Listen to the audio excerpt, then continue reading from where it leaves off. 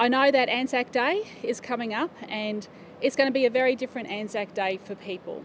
And I really want to thank uh, the public for their understanding during this time. There will be a wreath laying uh, commemorative service that will be undertaken at 4:28 a.m. on Saturday.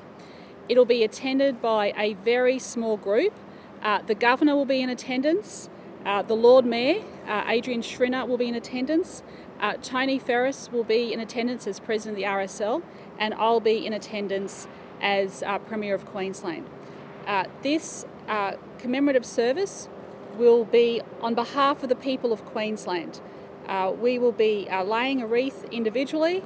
There will be the national anthems, and there will be a pool camera and the last post.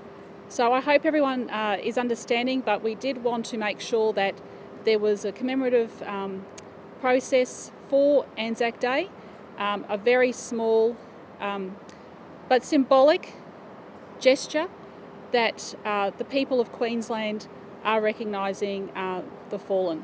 So I really want to thank the RSL and I want to thank Dr Young for giving this exemption for, uh, for people to attend this, but of course uh, practicing social distancing and laying a wreath uh, individually. I would just like to encourage Queenslanders this Anzac Day, the 25th of April, to step out onto their driveways, their verandas or their porches at 6am in the morning and commemorate those that have gone and served this country those that are currently serving this country and those that have come home with their injuries and are still suffering with those injuries.